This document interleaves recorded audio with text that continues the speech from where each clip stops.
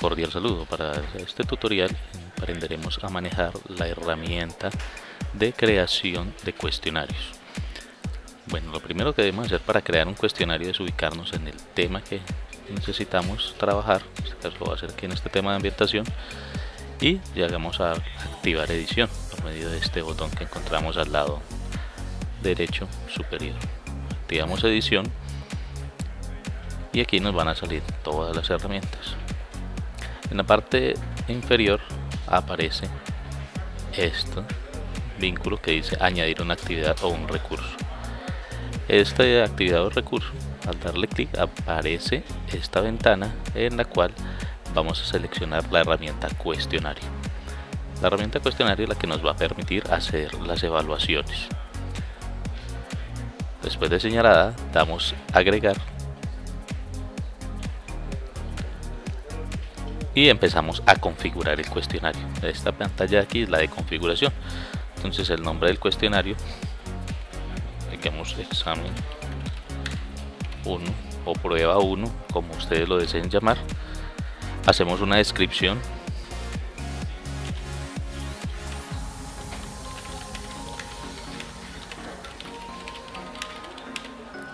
Bueno aquí lo que vamos a hacer es una descripción de lo que va a tratar el examen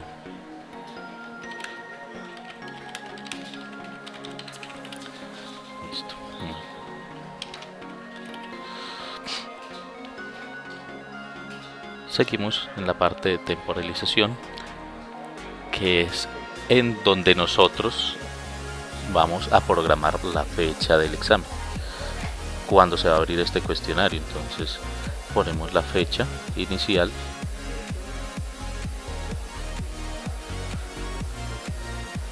Ponemos la fecha donde se cerrará el cuestionario.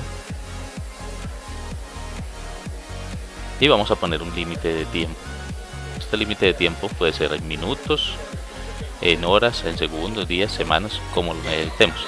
Vamos a ponerle este cuestionario 20 minutos.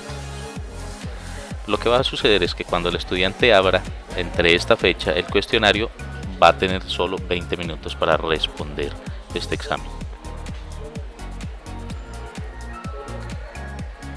Bueno. Entramos a la parte de calificación la parte de calificación ustedes van a programar acá cuántas veces puede presentar el estudiante el examen. Si en un examen normal vamos a poner solo un intento.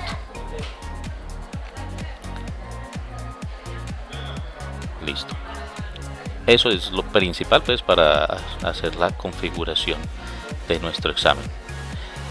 Seguimos a la parte perdón de esquema y vamos a ponerle acá donde dice página nueva vamos a ponerle todas las preguntas en una página para que todas aparezcan de una vez cuando el estudiante ingrese.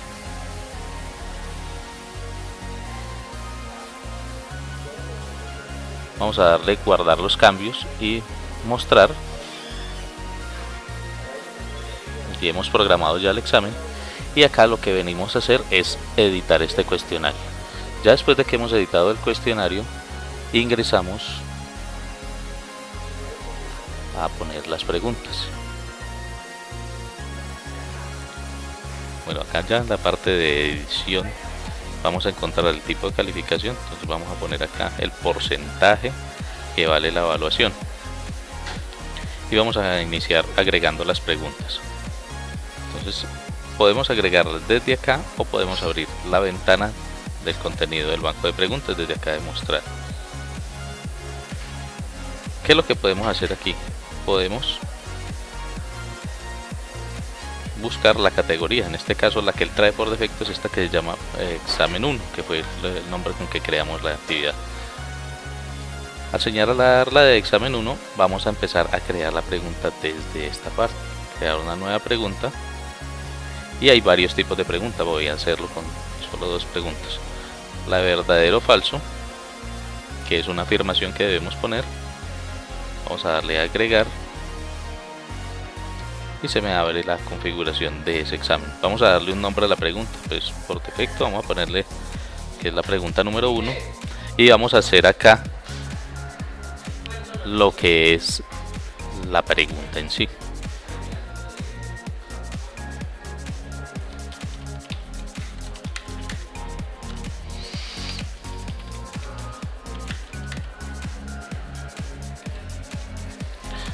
Vamos a poner este como la capital de Colombia es París. Como es una negativa entonces vamos a ponerla acá que la respuesta correcta es falso.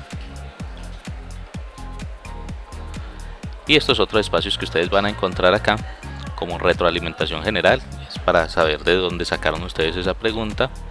En caso de que él conteste verdadero ustedes le pueden dar una retroalimentación si contesta falso que es la correcta en este caso la pueden felicitar o decirle eh, de dónde salió también la pregunta. Vamos a guardar los cambios y continuamos en el desarrollo del examen. En este momento el examen no tiene ninguna pregunta simplemente estamos creando un banco de preguntas. Aquí ya va la que acabamos de hacer. Vamos a crear otra pregunta. Pueden crear preguntas de opción múltiple acá en opción múltiple entonces ¿qué pueden encontrar ustedes? pueden encontrar preguntas tipo X entonces vamos a darle nombre a la pregunta voy a ponerle esta que es la número 2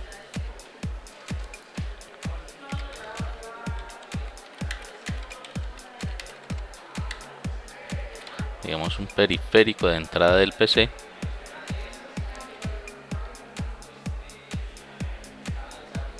vamos a seleccionar las preguntas. Entonces aquí van a aparecer la A, la B y la C. Entonces vamos a esta parte donde dice respuestas. No hay necesidad de ponerle las letras porque la elección 1 entonces él me la va a tomar como la A o la va a tomar aleatoria. Entonces vamos a poner aquí digamos vamos a poner varios. Entonces vamos a poner por ejemplo el monitor que es de salida. Como no es correcta entonces vamos a dejar calificación ninguna. Vamos a poner otra. Impresora. Este es de salida también entonces calificación ninguna. Vamos a poner por ejemplo el teclado que si es verdadera. Este es verdadero entonces vamos a ponerle 100 porque es la correcta. Y podemos agregar alguna otra las opciones que quedan en blanco él no me las va a tomar. Si necesito más de 5 opciones puedo agregar otras 3 más por cuestión de, espacio que necesite más respuestas. En este caso solo necesito estas 4 voy a dejar esta en blanco no me la va a tomar y voy a guardar los cambios. Nuestro banco de preguntas en este momento ya está quedando alimentado y puedo poner las que yo desee 10, 20, 30, 50 esto es muy bueno porque eh, me va a dar la opción de que a cada estudiante le aparezca aleatoria una cantidad de preguntas. ¿Cómo puedo hacer esto entonces? Hay varias formas de poner las preguntas en el cuestionario. La primera forma es seleccionar las preguntas que necesito desde estas flechas azules que ustedes ven acá. Entonces él me las traería hacia acá, que es el cuestionario. Entonces ahí sería para traer las que yo quiero. La otra es seleccionarlas todas desde acá y llevarlas al cuestionario. Y hay otra opción que es aleatorias. Entonces ustedes en la parte de abajo van a ver acá el listado. Si tengo 50 preguntas y no solo necesito 5, entonces seleccionaría aquí a las que hay. En este caso solo me va a mostrar dos porque son las únicas que tengo allí. Pero puedo agregar aleatoria las preguntas. Voy a agregar estas dos que tengo acá. Las selecciono y les voy a añadir al cuestionario.